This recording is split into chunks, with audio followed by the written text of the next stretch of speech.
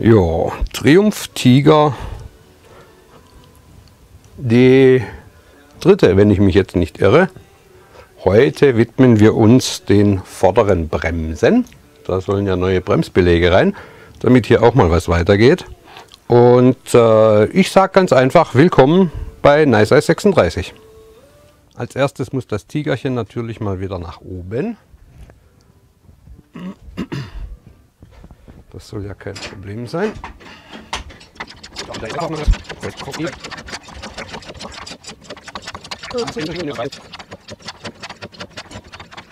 So, einmal dieses.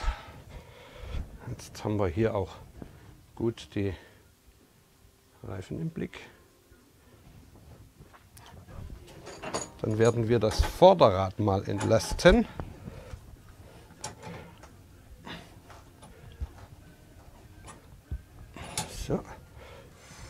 Jawohl. Gut. Was habe ich also vor? Ich möchte ja das Vorderrad ausbauen. Und bei der Tiger sollte man ja zuerst die Klemmung der Achse vornehmen, also lösen. Das sind Imbusschrauben, diese beiden. Und auf der anderen Seite haben wir das Ganze nicht. Also werden wir die hier jetzt mal lösen.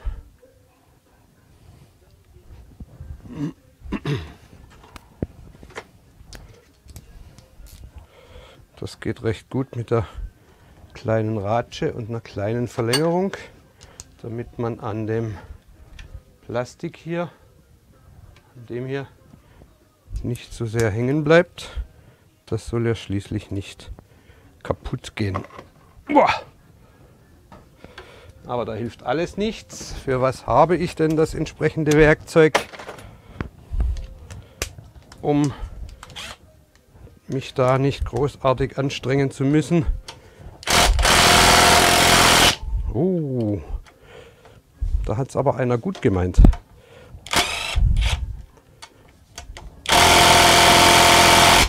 Viel zu fest angezogen. Aber wirklich viel zu fest.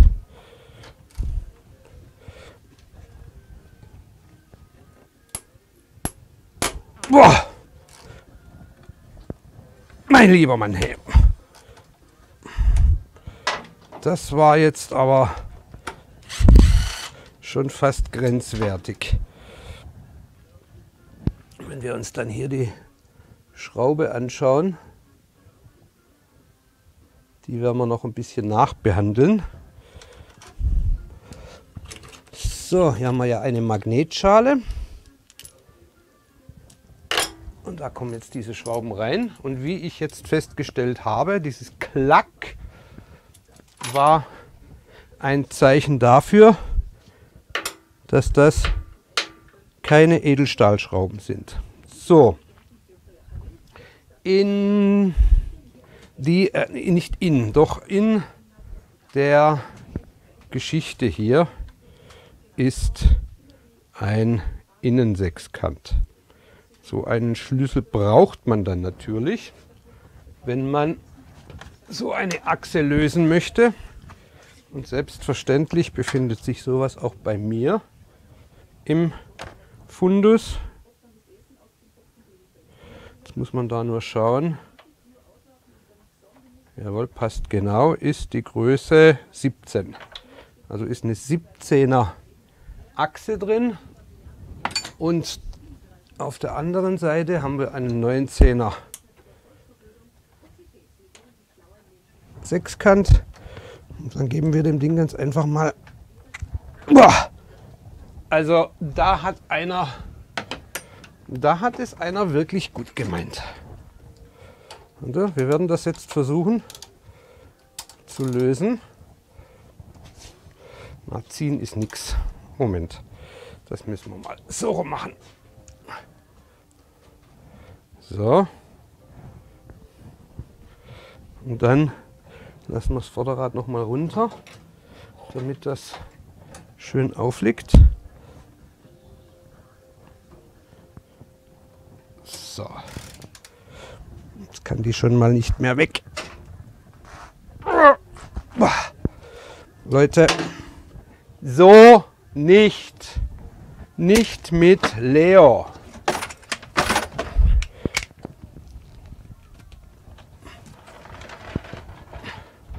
Weil wenn Leo mir dumm kommen will, bekommt Leo Bekanntschaft mit dem Schlagschrauber. So. Umstellen. Und dann, jetzt wird es laut.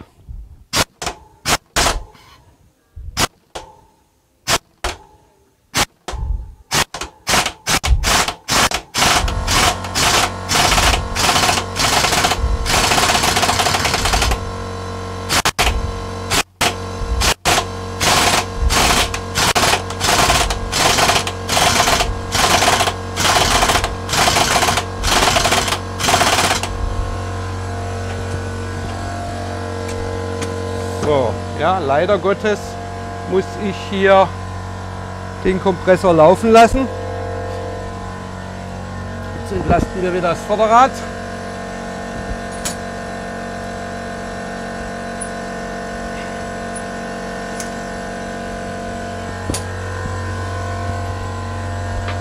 Ich kann es immer wieder nur betonen, Leute, fettet eure Achsen, zieht mit dem vorgeschriebenen Drehmoment an und nicht mit dem Schlagschrauber. So, jetzt ist wieder Ruhe.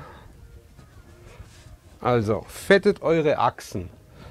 Zieht den Dreck nicht mit dem Schlagschrauber an.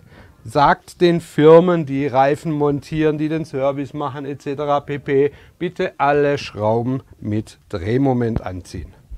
Ganz wichtig, weil sonst hat man nämlich mehr Probleme, als einem lieb ist, wenn man mal selber schrauben will. Ich revidiere, die ist gefettet. Das ist nicht so schlecht. Und dann sollte eigentlich das Vorderrad schon rausgehen. So, einmal Hülse. Auf dieser Seite Aluminium. Einmal Hülse auf dieser Seite.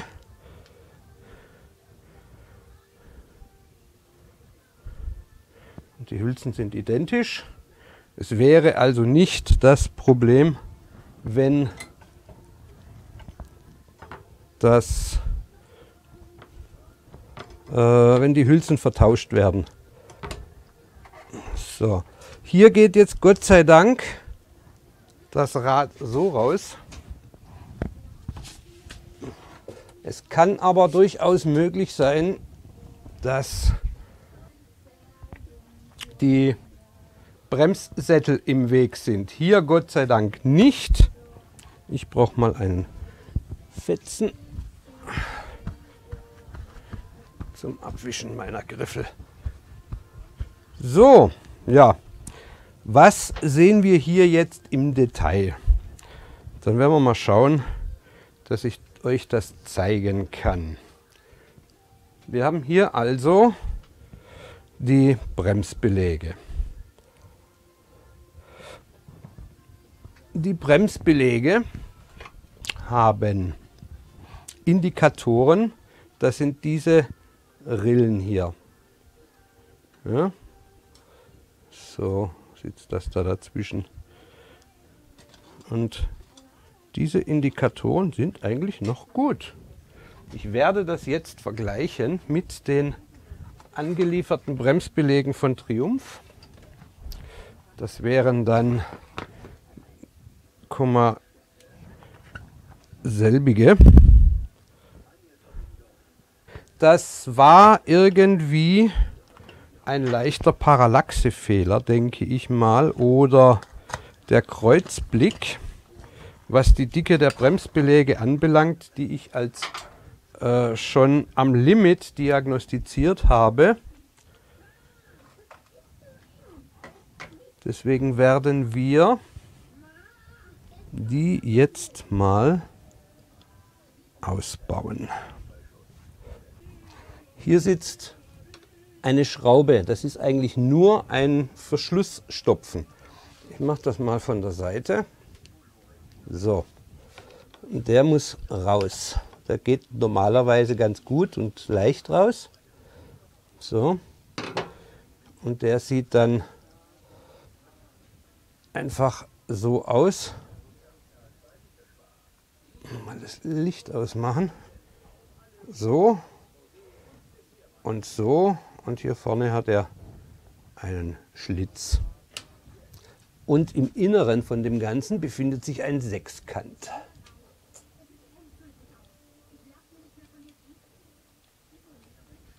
So, da sieht man den Sechskant. Die Größe müsste 5er sein, schätze ich mal ganz grob. Jawohl, ist ein Fünfer. Und dann diese rausschrauben. Ich lasse den Bremssattel absichtlich drin. Derweil, ob es ein Fehler ist oder nicht, das werden wir gleich sehen. Oder das wird sich relativ schnell rausstellen. Abgeschraubt ist er platsch, ja, relativ schnell. Danke Schwerkraft. Sind wir froh, dass es runterfällt. Wenn es hochfällt, würden wir es ja nicht mehr wiederkriegen. So. Und gegenüber neu schon, schon ein, wo sind wir hier? Schon ein deutlicher Unterschied. Ja? Also sie wäre noch nicht fällig. Das möchte ich gleich von vornherein behaupten. Nicht, dass irgendjemand auf die Idee kommt, ähm, der spinnt, der macht da neue Bremsbeläge rein, obwohl die noch gar nicht fällig sind. Ich mache hier einen großen sorglos Service, der bis Ende nächstes Jahr durchhält. Ja. Um nichts anderes geht es. Einfach einmal durchgeschaut, dass es einige Fauxpas gegeben hat, haben wir ja gesehen. So, was kommt jetzt als nächstes? Als nächstes mache ich immer, bevor ich irgendwie die Bremskolben zurückschiebe, die hier sind, nehme ich Bremsenreiniger.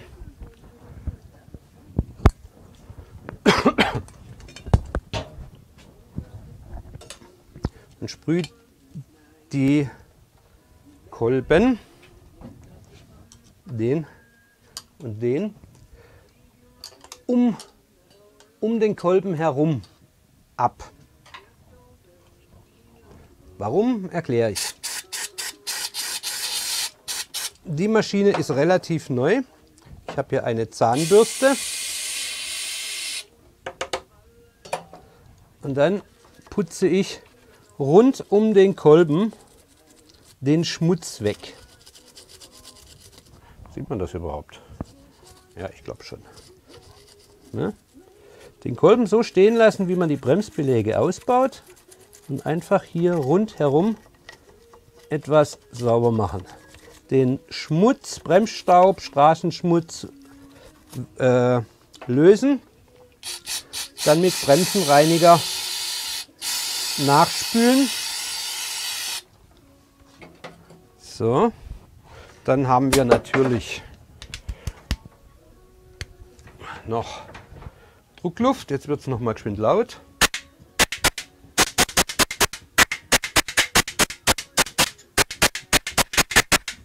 So, sieht das Ganze dann wie folgt aus. Schön sauber. Wichtig, der Rand. Der Bremsbelag steht ja während des Betriebes, also während man fährt, immer auf einer Position. Ja?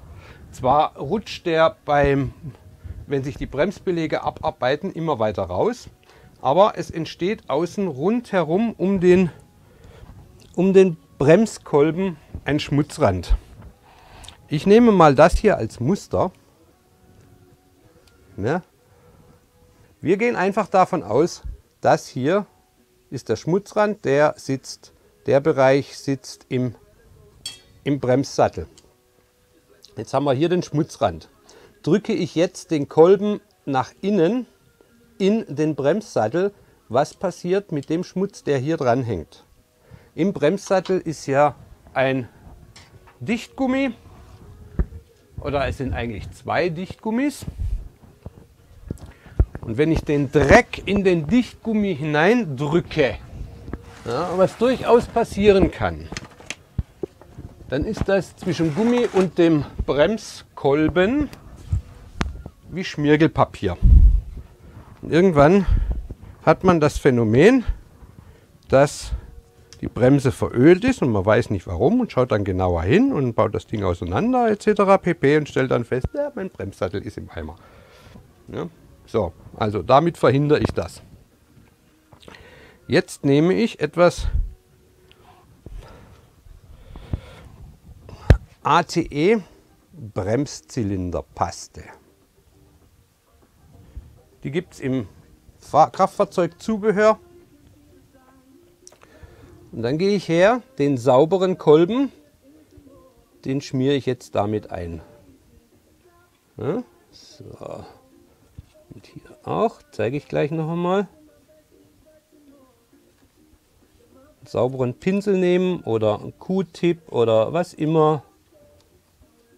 Im Badischen sagt man, glaube ich, Ohrenficker dazu. Ich habe jetzt den Kolben eingeschmiert. So. Diese Bremsbeläge bleiben jetzt noch drin. Jetzt nehme ich den Kolbenrücksteller. Man kann es auch mit einer Zange machen, man kann es mit einem Schraubendreher machen. Man könnte die Bremsbeläge wieder einbauen. Aber für was habe ich mein Werkzeug? Äh, ich baue die Bremszange aus. Warum baue ich die Bremszange aus? Erkläre ich euch gleich weil, Komma, nämlich das. Ich auch die Schubstangen, die Führungsstangen sauber machen will. So wie ich das sehe, ist das entweder 12 oder 13. Ja, 12. Könnte natürlich auch ganz was Brutales sein, nämlich Zoll. So, ihr sollt ja dabei sein damit ihr seht, was ich tue. Ich mache jetzt diese, diese beiden Schrauben auf. Hoffentlich ohne... Ja, die sind gut. Die sind vom Drehmoment her schön an. Schön und leicht zu demontieren. So. Da kann ich das vielleicht auch etwas besser zeigen. So, das wäre jetzt also der Bremssattel, den ich hier habe. Wieder auf die Seite. Das hier ist diese Führungsschiene. Die kann man einfach abziehen. Die hat zwei Führungen. Dann schauen wir uns die an, ob die schön sauber ist. Hier kein Pitting hat oder keine Schmutzreste. Das sieht alles wunderbar aus. Und dann einfach auch von der Bremspaste ein bisschen drauf.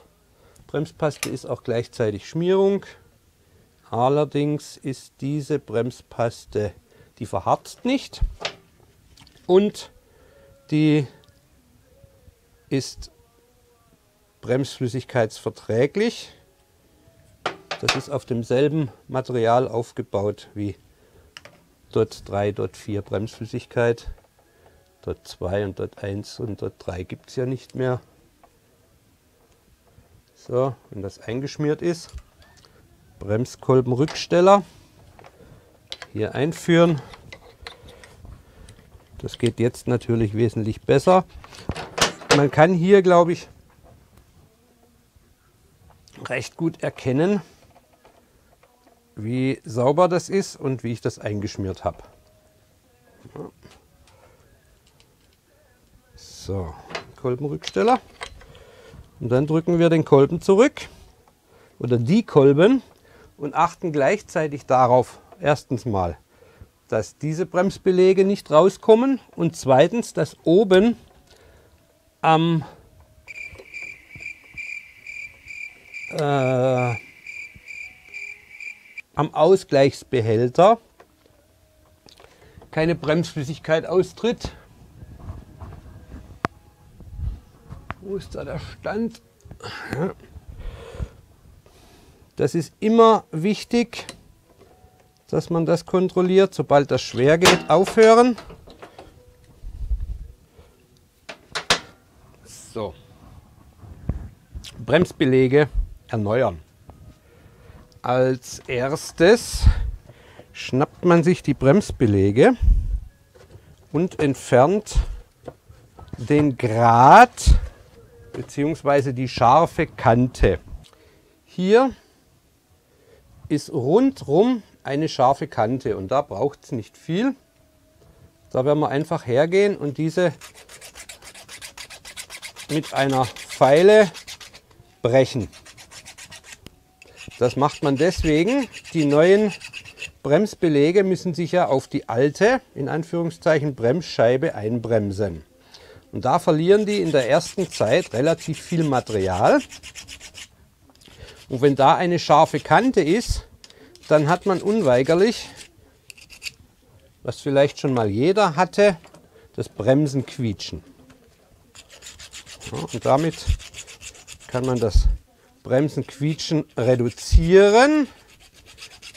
Oft lässt sich es gar nicht vermeiden, nämlich wenn man auf speziellen Bremsscheiben Sinterbremsbelege fährt, aus Sintermetall. So, ich habe hier Keramikpaste. Die kommt jetzt hier hinten drauf. Was ist das eigentlich mit dem Licht hier? Und hier streiche ich das jetzt ein mit Keramikpaste für die Gleitschmierung, für die Vibrationsdämpfung. Auch in das Loch rein, niemals zum Bremsbelag. Das sollte aber eigentlich jedem klar sein. Auch an dem Zapfen hier kommt etwas Keramikpaste. Es braucht nicht viel. Natürlich kann man auch Kupferpaste nehmen. Wer sich keine Keramikpaste leisten kann oder keine hat oder keine bekommt, selbstverständlich auch Kupferpaste, ist kein Thema. Der Kolben ist zurückgedrückt. Er ist sauber. Jetzt werden wir den Bereich noch reinigen. Wenn wir es sauber machen, machen wir es richtig sauber. So, Zahnbürste, Bremsenreiniger, leicht annebeln und dann einmal schrubben. Oft hatte ich den Einwand, du hast gerade eingeschmiert, jetzt spülst du das wieder runter. Das ist prinzipiell richtig, aber die Schmierung ist ja im Kolben und nicht außerhalb. So, das Ganze sieht dann so aus, wieder schön sauber. Gefällt mir sehr gut. Hier ist eine Klammer und da müssen die Bremsbeläge drin sitzen und die machen wir natürlich auch vorher sauber. Ja, der Bremsenreinigerverschleiß, der ist schon extrem bei solchen Arbeiten. So sieht das Ganze dann aus. Schön. Das ist im Übrigen eine goldene Klammer und keine schwarze. Halter rein. Ja, meine erste Triumph Tiger. So. Schön darauf achten, dass dieses Gummi, dieses Gummi hier in die Nase von dem Zapfen reingeht. Und das gleiche hier oben natürlich auch auf der Seite, dass der Gummi immer mit rausgezogen wird. So, und jetzt kommen die Bremsbeläge rein. Ja, das ist, ist ja alles kein Thema. Wer sich da jetzt aufregt drüber, dass die Einbaureihenfolge verkehrt war, ja, mein Gott. ISO. Militärische Begründung mit vier Buchstaben. Ist so. So, jetzt den geschmierten Zapfen, der ja immer noch geschmiert ist und der auch geschmiert bleibt. Schön darauf achten, dass der äh, Bremsbelag da reinfluppt. So, da zu mir. Reinfummeln, Zapfen durchschieben und festschrauben.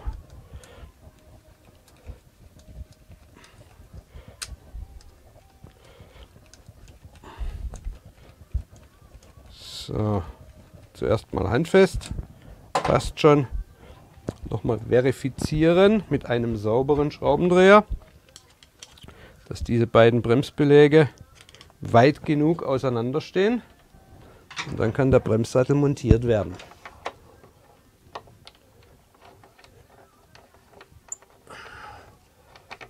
So, einmal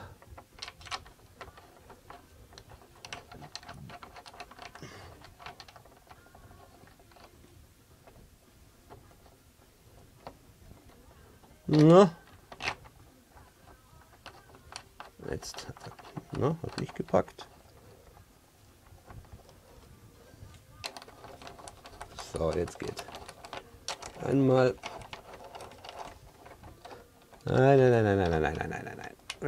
Du da schon richtig rein. Ich hadere hier noch ein bisschen mit den Bremsleitungen hier. Die müssen nämlich da wieder hinter den Kunststoff. So, so, der Fall wäre mal erledigt. Jetzt kommt die andere Seite.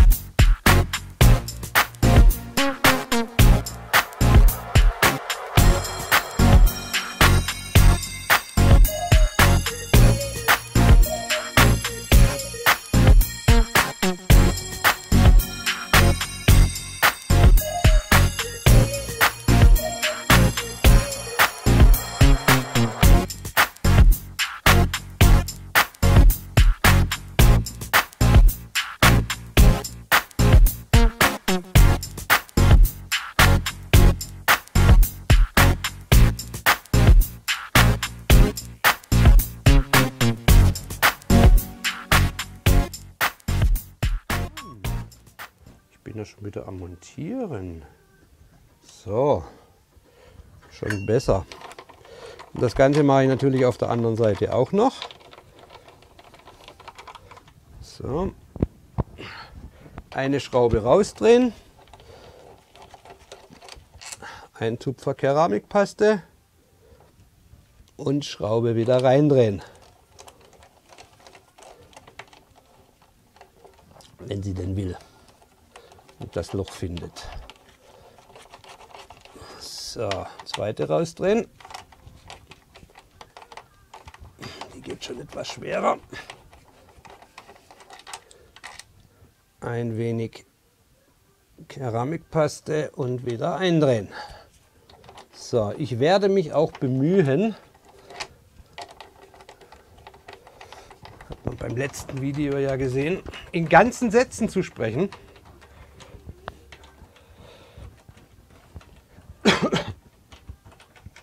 So, handfest angezogen hier. Einmal, zweimal. Ich habe jetzt keine Drehmomentwerte. Noch nicht. Aber Bremssattelschrauben ziehe ich immer nach Gefühl an. Wenn ihr Bremsdrehmomentwerte habt, benutzt einen Drehmomentschlüssel. Aber wenn ich nach 32 Jahren Auto- und Motorradschrauben kein Drehmomentgefühl entwickelt habe, dann bin ich hier eh am falschen Platz. So, hier haben wir dann noch diese, diese Klammern. Die eine Klammer kommt hier oben hin und wird wieder mit der Bremsleitung verheiratet und die ABS-Leitung hier wieder hinter das Kunststoff. Beide natürlich. So.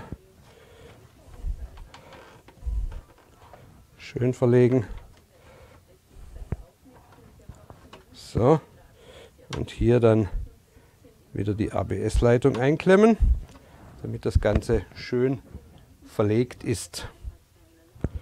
Gut, das war das Thema Bremsbelagswechsel vorne.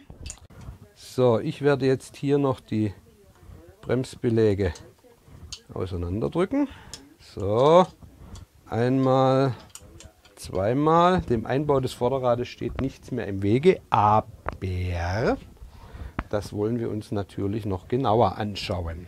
So, ich kontrolliere natürlich auch die Radlager, das ist klar. Dazu nehme ich einen sauberen Lappen und dann werde ich da mal hineinfahren in das Loch und dann das Radlager langsam drehen. Das sieht gut aus. Sobald man merkt, dass das Ding anfängt zum Haken zu rattern oder äh, unrund zu laufen, ist das Radlager defekt. Und mit dem Finger hoch und runter, vor, zurück, einfach mal rumwackeln, ob Spiel zu erkennen ist. Und auch hier das Radlager drehen. Das hat Das ist wunderbar. So, jetzt kommt Schraubertipp. Ich wurde gebeten, Schraubertipps zu nennen. So, Langlebigkeit von Radlagern kann man erheblich verbessern und die, die äh, Zeit, die Lebenszeit erhöhen. So, indem man auf zwei Dinge achtet. Erstens diese Dichtlippen hier. Ja, die, müssen, die müssen weich sein, richtig schön weich. So. Und was dieses Radlager hier nicht hat, was ihr aber unbedingt machen solltet, ist folgendes. Hinter äh, dem Simmering hier und dem Lager ist Luft. Ne? Und da sollte Fett rein, um ganz einfach Wasser daran zu hindern, in das Radlager zu laufen.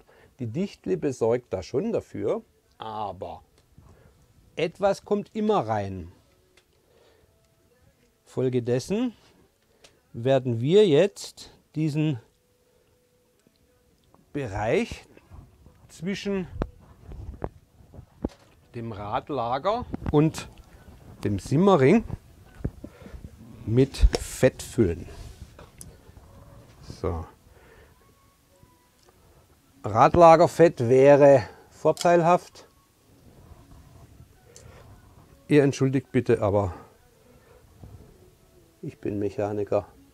Wenn ich keine dreckigen Finger kriege, dann fühle ich mich nicht wohl richtig ordentlich satt den ganzen Raum mit Fett zustopfen. Wo Fett ist, kommt kein Wasser hin. Das Fett sucht sich seinen Weg und meistens sucht es sich das Weg ins Lager und fettet zusätzlich das Lager. Ja? So. Äh, ich spreche da auch aus der Enduro-Erfahrung heraus. Ich meine, so viel Enduro-Erfahrung, das wisst ihr ja, oder das wissen die Leute, die meinen Kanal verfolgen, so viel Enduro-Erfahrung habe ich ja nicht im Fahren, aber im Schrauben. Und nichts ist schlimmer als einer Hard Enduro zu wenig Schmierung zu gönnen. Dasselbe ist natürlich auch hier. Ja, also es hätte mich jetzt gewundert, wenn eine Seite gefüllt wäre und die andere Seite nicht, aber das macht nichts. Dafür bin ich ja da. Ja, wenn das Ganze dann schön eingefettet ist.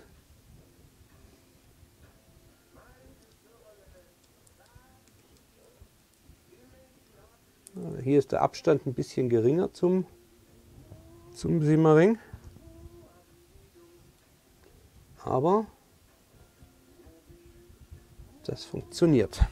So, das war einer der unzähligen Schrauber-Tipps, die ich euch mit auf den Weg geben wollte. Ihr könnt das auch nachträglich natürlich noch machen beim Reifenwechseln. Das alte Fett, das wird irgendwann mal so ein bisschen schlonzig, ein bisschen schwarz. Das könnt ihr dann äh, rauswischen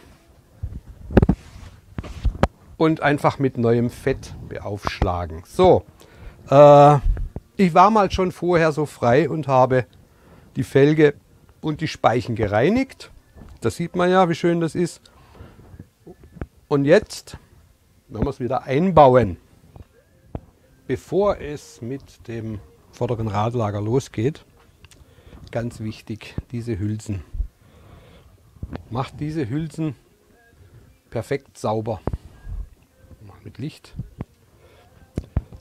Warum ich das sage, diese, dieser Dreck hier sitzt, dieser Bereich sitzt im Simmering. Und wenn da Dreck drin ist, wirkt das wie Schmirgelpapier. Also tut es euch den Gefallen, macht lieber zweimal mehr sauber als einmal zu wenig. So, jetzt haben wir diese Hülse hier sauber. Und äh, ich mache mal das Licht aus. Und wie man hier jetzt sieht, sind Einlaufspuren vorhanden. Das ist jetzt die von in Fahrtrichtung gesehen links. Von mir aus gesehen, wenn ich von vorne drauf schaue, die rechte die sind jetzt noch nicht so, dass man großartig was mit dem Fingernagel spürt. Fahrt hier mit dem Fingernagel drüber. Wenn eine leichte Riefe zu spüren ist, ist das noch okay. Aber diese Büchsen sind aus Aluminium und äh, haben die Tendenz, relativ schnell einzulaufen. Und wenn diese Kante zu tief eingelaufen ist, ist die Dichtung nicht mehr gewährleistet. Das heißt, wenn ihr durch Regen fahrt, zieht ihr euch Wasser ins Radlager. Radlager, Wasser, ganz schlechte Kombination. Man kann diese Büchse auch verkehrt rum einbauen. Hier ist nämlich kein, keine Riefe zu sehen. Wenn eine Riefe vorhanden ist, eine starke, baut die Hülse verkehrt rum ein. Die Voraussetzung, ich rede jetzt hier von der Tiger 800 XC Baujahr 2012. Es gibt Motorräder, die haben unterschiedlich lange Hülsen, unterschiedlich dicke Hülsen. Da ist einmal der Innendurchmesser größer oder kleiner gegenüber der anderen. Die Hülsen sind also unterschiedlich und die Hülsen haben vielleicht dann hier eine Verdickung oder da hinten eine Verdickung oder wie auch immer. Ähm, das müsst ihr halt rausfinden, ob die Hülse gleich ist auf dieser Seite und auf dieser Seite. Ob da das gleiche ist, ob hier das gleiche ist etc. Ne? Bei der Hülse ist es so. Die kann man verkehrt rum einbauen. Bei den anderen schaut ihr bitte selbst nach bei eurem Motorrad. Was ist beim Ausbauen und beim Einbauen vom Vorderrad immer zu beachten? Bei 99,5% aller Fälle Richtig, die Laufrichtung. Ihr habt in den allermeisten Fällen eine Rotationsangabe auf dem Reifen. Das wäre hier Rotation, bezieht sich immer in Fahrtrichtung. Das heißt, dieses Rad dreht so rum, rauszoomen, wupp, dreht in diese Richtung. Das Rad kommt also so rum rein. Jetzt kann es natürlich sein, dass der Reifenhändler eures Vertrauens den Reifen verkehrt rum montiert hat. So. Es kann natürlich möglich sein, dass äh, es Felgen gibt, die keine Laufrichtung haben. Aber ich wäre ja nicht ich, wenn ich nicht ich wäre. Dann wäre ich ja nicht ich, sondern jemand anderes. Wir haben hier natürlich den ABS-Ring. Und da wir ja wissen, dass der ABS-Abnehmer auf der in Fahrtrichtung gesehen linken Seite ist, muss dieser Abnehmer auch auf in Fahrtrichtung gesehen linke Seite montiert werden. Ganz einfach. So, was ich jetzt hoffe, dass ich hier dazwischen durchkomme, wie beim Ausbau. Das geht bei dem Motorrad, ohne dass die Felge beschädigt wird. Und jetzt achten wir darauf, dass wir mit beiden Bremsbelegen zwischen die Bremsscheibe kommen. Also dass die Bremsbelege nicht verrutschen. Ich habe schon ein Motorrad bekommen mit dem Hinweis, ich weiß nicht, irgendwas stimmt nicht, meine Bremse roffelt. Da waren beide Bremsbelege auf einer Seite. Da hat beim Einbau irgendjemand was verkehrt gemacht. So, und drin ist das Rad. Und jetzt geht die ganze Geschichte einfach wieder rückwärts, indem wir die Hülsen einbauen, die wir, da steht mein Fett,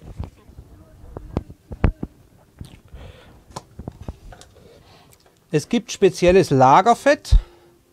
Ich habe das Castrol Lithium verseift.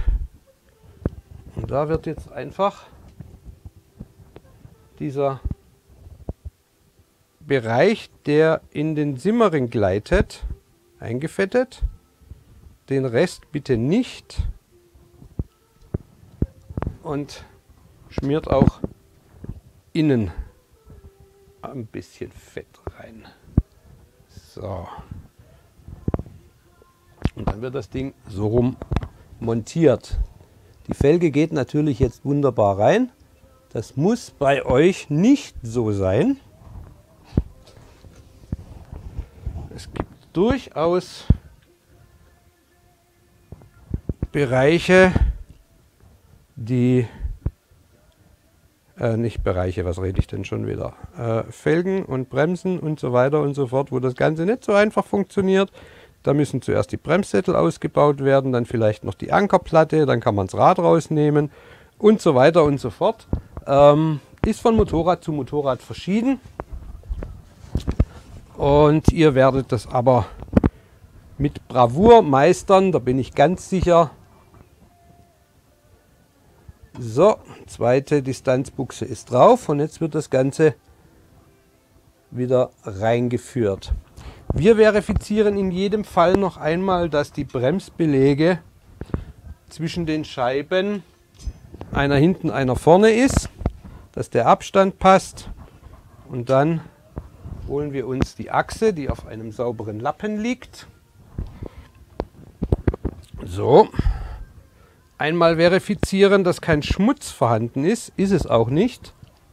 Und wir nehmen sauberes Fett und geben dem Ganzen ein Rostschutz und Gleitcoating. So, nicht auf das Gewinde kommen. Dann ist es hilfreich, hier im Inneren etwas Fett aufzutragen. Ich zeige euch nachher noch einen Trick. So, das restliche Fett kommt wieder hier rein. Und dann schieben wir mal die Stange durch. Ich habe natürlich den großen Vorteil, dass ich, mein, dass ich das Vorderrad mit meinem Scherenheber ausdistanzieren kann. Das heißt, ich kann das Motorrad in der Höhe so verstellen, dass ich die Stange mit einem Finger durchdrücken könnte, kann, würde, mache. Ne? Indem ich da jetzt einfach etwas runterdrehe, dass das alles in einer Ebene ist. Dann kommt hier die Stange rein und dann drücke ich hier mit dem Finger durch. Hier muss ich noch ein Stück höher. Noch ein bisschen. So, und dann muss ich hier auf der anderen Seite schauen. Natürlich ist es wichtig, dass das Rad auch gerade drin steht. Was es jetzt tut, einfach rechts und links einmal durchschauen. Nicht mit Gewalt, nicht mit dem Hammer. Das ist alles nicht notwendig. Wenn ihr das Motorrad zum, äh, zur Achse ausmittelt, dann fluppt das Ding hier von Hand rein und ich kann das ganz locker von Hand anziehen, ohne dass ich irgendwie mit dem Vorderrad rumhantieren muss. Wer so einen Scherenwagenheber nicht hat, Hebebühne reden wir ja gar nicht davon, die hat sowieso nicht jeder. Äh, wenn ihr auf dem Boden rumkrapselt, schiebt euch unter das Vorderrad ein Holzbrett und das Holzbrett könnt ihr dann anheben und das Rad positionieren. Ich kann das vielleicht auch mal irgendwann zeigen. Die Radachse schraube ich jetzt gleich mal handfest. So.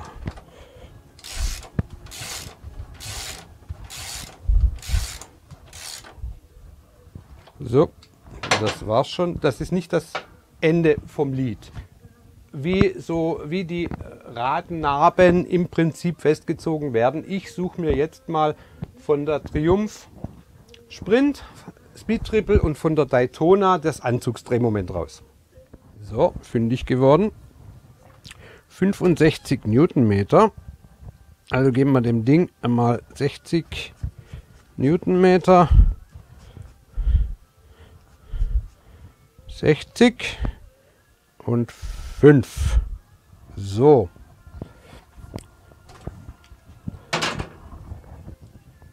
Etwas ablassen.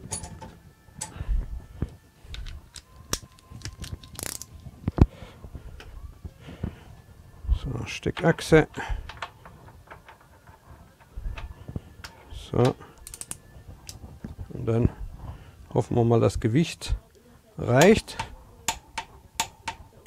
So, also das fühlte sich jetzt nach richtig an. Jetzt kommen diese beiden Klemmschrauben wieder. Und da hatte ich ja gesagt, bei den Schrauben hier die werde ich mal kurz, kurz behandeln, nämlich mit der Messingdrahtbürste.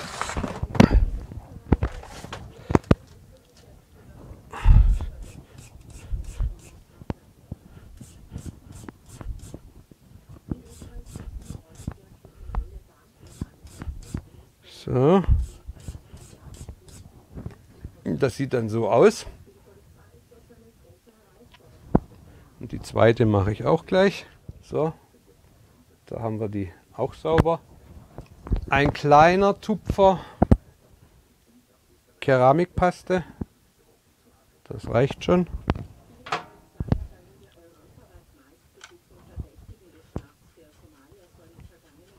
So.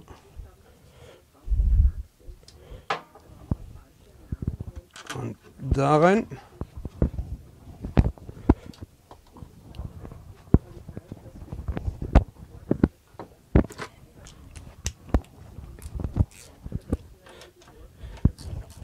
Dann ziehen wir das hier an. Warum bin ich eigentlich so faul? Was heißt so faul? Ich habe doch alles Werkzeug da. Das ist ein 6, eine 6, 6 Newtonmeter äh, Ratsche. Die zieht die Schrauben mit 6 Newtonmeter an und schaltet dann ab. Und die hintere Bremsen, vordere Bremsen, Räder, Anwendung, Vorderachsspindel, Achsbolzen 65, Klemmschrauben, vordere Radachse 20 Newtonmeter. Da werden wir natürlich nicht mit der dicken Mama rangehen, sondern unseren kleinen Drehmomentschlüssel nehmen. Sehr zu empfehlen, Proxon Werkzeug, lang haltbar und super in der Qualität auch schon ein älteres Semester. Licht aus, den stellen wir jetzt auf 20 Newtonmeter ein. 18, 19, 20. Zuck. So, und dann kriegt das Ding hier 20 Newtonmeter. Einmal. Das Anziehen mit Drehmoment hat natürlich den größten Vorteil, löst ihr später die Schrauben wieder, habt ihr keine Probleme. So, wir haben jetzt als allererstes den Bremsklotz-Haltestift. Der bekommt 18 Newtonmeter.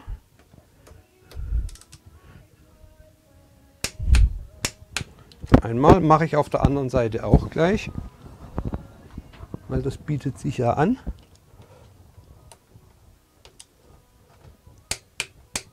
So, und dann kommen die Schrauben. Vorderer Bremssattel zur Gabel 40 Newtonmeter. 40 Newtonmeter. Vorderer Bremsschlauch, Bremszylinder, Flüssigkeitsbremsscheibe. Brems, vordere Bremsscheibe zum Rad. Jo, Vorderer Bremssattel zur Gabel 40 Newtonmeter. Da braucht man dann die Big Mama, weil mein kleiner Drehmomentschlüssel das nicht verpackt. So. Geht. Mein von Hand angezogenes passt exakt. Wie man gesehen hat, hat sich ein kleines bisschen bewegt und erst dann geknackt. Also mein Drehmoment war von Hand fast exakt 40 Newtonmeter. Bin begeistert.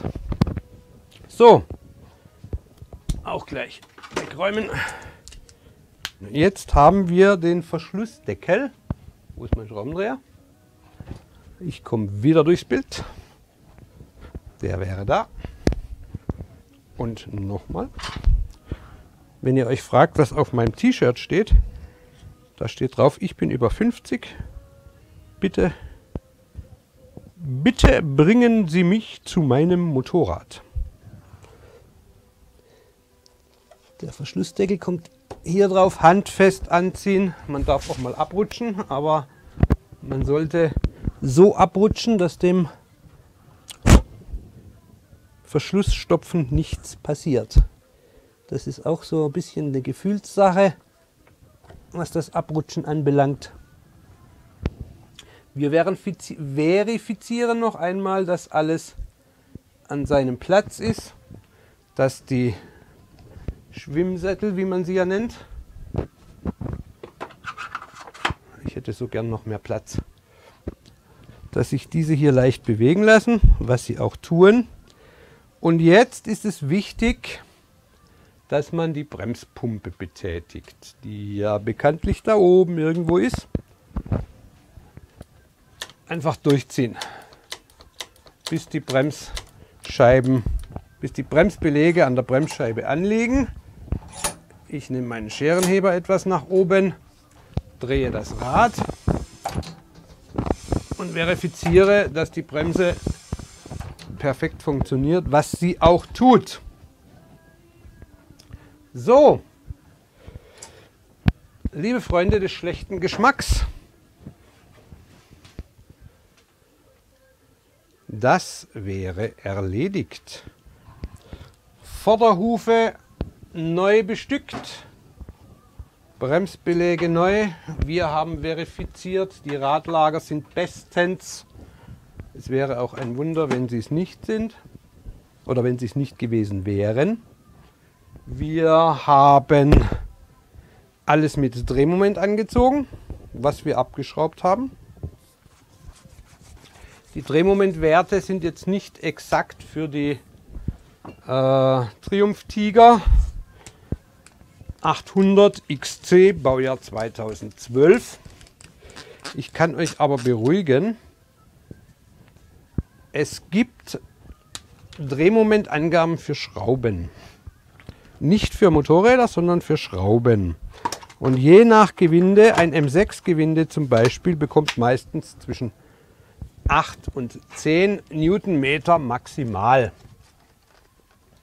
Ja, und so hangelt sich das halt hoch über M8 bis 40 Newtonmeter, M12 bis 60 Newtonmeter und so weiter und so weiter. Vorderbau. Alles bestens. Das nächste, allerdings in einem nächsten Video, schätze ich, wird sein, das Lenkkopflager einzustellen. Für diesen Film sage ich mal Cut. Episode Vorderrad erledigt. Und ja.